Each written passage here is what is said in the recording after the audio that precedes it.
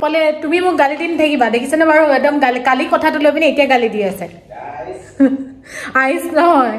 এই guys good morning আপোনালোকক। মই আৰু এটা নতুন ব্লগলৈ স্বাগতম জনাইছোঁ আৰু আশা কৰিছোঁ সকলো ভালে কুশলে আছে বুলি। আজি এতিয়া ওলাইছোঁ অকণমান মানে মেকঅভাৰ কৰিবলৈ। মেকঅভাৰ মানে কি? হেয়াৰ কালাৰ কৰিবলৈ থ্ৰেডিং কৰিবলৈ আপাৰ লিপছ কৰিবলৈ তাৰপিছত আৰু এইবিলাক আৰু কিবা কিবি ফেচিয়েল কৰিম কৰিমকৈ থাকিয়ে গৈছে। সেইকাৰণে আজি যাওঁ বোলো এতিয়া কৰি আহোঁগৈ। আৰু কাইলৈ থাকি পৰহিলৈ আমি যামেই। আমাৰ তাত যেনেকৈ মিঠা পানীৰ নদী আছে ইয়াত তেনেকুৱা কোনো মানে মিঠা পানীৰ নদী নাই। চাৰিওফালে সাগৰে ভৰ্তি। কিন্তু ইয়াৰ মানুহে মানুহখিনিয়ে কি কৰিছে মানে গভমেণ্টে কি কৰিছে সাগৰৰ পানীকে খোৱাৰ উপযোগী কৰি লৈছে গা চা ধোৱা বাকী এইবিলাক কাম কৰা। মোৰ সেই পানীখিনিয়ে মানে মনা নাই গতিকে গোটেই চুলিখিনি এফালৰ পৰা গোটেই চব ফালে প্ৰায় পকি মানে চেচ। আমাৰ বা ভাগৰো একে আমাৰ ইয়াত মানে পানীখিনিয়ে মনা নাই। গোটেই মানে চুলি আপোনাৰ ষাঠি সত্তৰ বছৰীয়া বয়সৰ মানে মাইকী মানুহৰ নিচিনা চুলি পকি গৈছেগৈ। আৰু চুলিখিনি আপোনাৰ ইমান পটক পটককৈ কালাৰ কৰি থকাটো ভাল নহয়।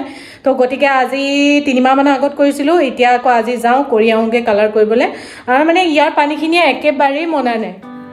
এতিয়া মই পাৰ্লাৰ আহি পালোহি আৰু এতিয়া ফাৰ্ষ্টতে মোৰ হেয়াৰ কালাৰ কৰি লৈছে তাৰপিছত ফেচিয়েল মেনিকিয়ৰ আৰু পেডিকিয়ৰ এইকেইটা কৰিব।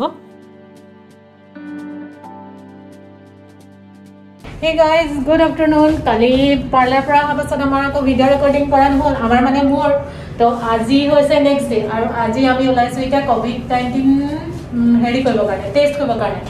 আৰু এতিয়াতো ৰুল হৈছে যে আপুনি বেলেগ এখন কাণ্ট্ৰিৰ পৰা এখন কাণ্ট্ৰি ফ্লাই কৰিলে ক'ভিড নাইণ্টিন টেষ্ট কৰিব লাগিব আৰু নিগেটিভ হ'লে আপোনাক ফ্লাই কৰিবলৈ দিব তো গতিকে আমি এতিয়া যাওঁ ক'ভিড টেষ্ট কৰিবৰ কাৰণে আৰু আমাৰ বাইছ তাৰিখে ফ্লাইট আছে। তো ছেভেণ্টি টু ছেভেণ্টি ফাইভ ন ছেভেণ্টি ছিক্স আৱাৰ্ছৰ ভিতৰত মানে আমি গৈ পিনে কলকাতা পাবগৈ লাগিব। এতিয়া আমি ওলাই আহিছোঁ বাপৰে ৰ'দটো একদম চকুতে পৰিছে চকুটো খুলিবই পৰা নাই। আৰু এতিয়া ব'লক আমাৰ ওচৰতে আছে হস্পিটেলখন বেছি দূৰ নহয় তো আমি খোজকাঢ়ি খোজকাঢ়ি যাওঁ। মোৰ হেয়াৰ ষ্টাইলটো কেনেকুৱা লাগিছে কমেণ্ট কৰি জনাব। কালি নতুনকৈ কাটি মেলি কালাৰ কৰি মেলি আহিছোঁ। তো আমি এতিয়া গৈ আছোঁ আৰু হস্পিটেলখন একদম ক'ভিড যিখন মানে টেষ্ট কৰিব আমাৰ ওচৰতে আছে একেবাৰে ওচৰতে একো প্ৰব্লেম নাই। তো সেইকাৰণে আমি বোলো ওচৰখনতে কৰোঁগৈ। নহয় এইখনত আজি কৰিলে এতিয়া কাইলৈ কাইলৈ পাই যাম আমি ইভিনিঙলৈকে আৰু এতিয়া কি হৈছে আপোনাৰ য'লৈ আপুনি ট্ৰেভেল নকৰক লাগিলে আপোনাৰ এইটোৰ মানে ক'ভিড নাইণ্টিনৰ টেষ্ট কৰোৱাবই লাগিব। আৰু তাৰ টেষ্টৰ যিটো নিগেটিভ ৰিপৰ্ট আহিব সেই ৰিপৰ্টটো আপুনি ফ্লাইটত মানে টিকেটৰ লগতে ছাবমিট কৰিব লাগিব। আৰু যদি সেইটো ছাবমিট নকৰে তেতিয়াহ'লে আপোনাক ফ্লাই কৰিবলৈ নিদিব। কোনো কাণ্ট্ৰিয়ে মানে সেইটো পাৰ্মিশ্যন নিদিব। তো এইটোতো এতিয়া মানে পূৰা কৰিবই লাগিব আৰু মাছ আৰু হস্পিটেলখন ইমানেই ধুনীয়া ফাইভ ষ্টাৰ হোটেলৰ নিচিনা দেখিবলৈ। দেখি হস্পিটেলখনত সোমাই লগাই নাই যে এখন হস্পিটেল হয় বুলি পিনে। এইফালে কেফে এখন আছে। আৰু ইমানেই চাফা নহয়। এইফালে কেফেখনৰ ওচৰত খ্ৰীষ্টমাছ ডেক'ৰেশ্যন কৰি আছে তেওঁলোকে। উৎপলে ফিল আপ কৰি আছে আমাৰ ডকুমেণ্টছ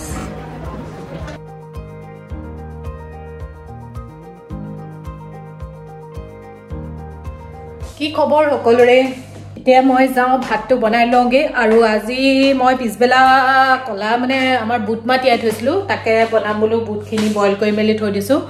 আৰু পাকঘৰটো কিবা চেইঞ্জ চেঞ্জ লাগিছেনে বাৰু? মানে চেইঞ্জ চেইঞ্জ লাগিছেনে বাৰু কিবা? মানে ইয়াৰ ফুল চুলবোৰ নাই। একচুৱেলি কি হ'ল কাইলৈ আমি যে যাম ইভিনিং আকৌ ইয়াত থৈ দিলে গোটেই ধূলি পৰিব সেইকাৰণে চব ভৰাই আলমাৰীত ভৰাই দিলোঁ।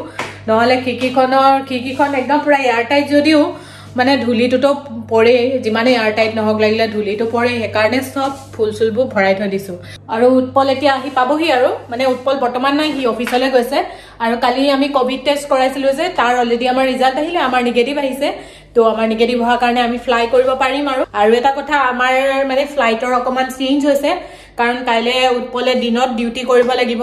তো আমাৰ সেইকাৰণে ফ্লাইট কি কৰিলোঁ আমি আমাৰ ইমেৰেটছত কৰা আছিলে আগতে তাৰপিছত ইমেৰেটছটো কেঞ্চেল কৰি পিনে স্পাইচ জেটত কৰালোঁ। আৰু এতিয়া আমাৰ কি হৈছে একদম মানে স্পাইচ জেট ডুবাইৰ পৰা দেলহি আকৌ দেলহিৰ পৰা কলকাতা। আগতে ইমেৰেটছখনত আছিলে ডাইৰেক্ট আমাৰ দিব হেৰি কলকাতালৈ আছিলে।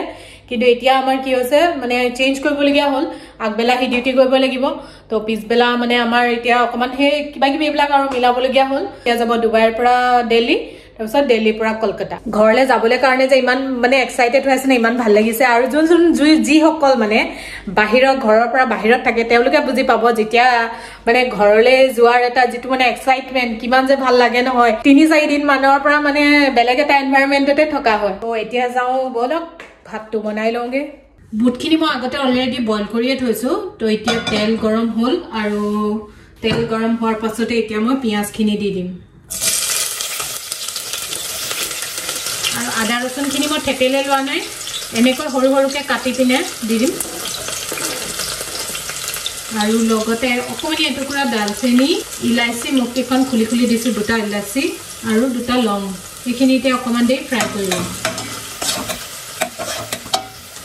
পিঁয়াজখিনি এতিয়া ফ্ৰাই হৈ গ'ল আৰু এতিয়া এইখিনি ইয়াত বিলাহী দি দিম।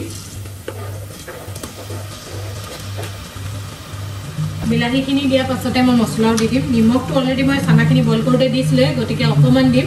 হালধি আধা চামুচ ৰঙা জলকীয়া আধা চামুচ আৰু ডাল মাখনি মছলা এক চামুচ। বাকী আৰু একো মছলা নিদিওঁ মই এইখিনি এতিয়া অলপ সময় ফ্ৰাই হ'বলৈ দিম। আৰু টেষ্টটো বেলেঞ্চ হ'বলৈ কাৰণে অকণমান মই চেনিও দি দিছোঁ। মছলাখিনি ফ্ৰাই হৈ গ'ল। এতিয়া ইয়াত বইল কৰি থোৱা চানাখিনি দি দিম। এইখিনি এতিয়া আৰু দহ মিনিটমান এনেকৈ সিজিবলৈ দিম। এয়া মোৰ চানা বনি ৰেডি আৰু এইফালে আছে ভেন্দি ভাজি ভেন্দি আলু ভাজি। আৰু এয়া ডিম। তো তেতিয়াহ'লে আমি খাই লওঁ আৰু।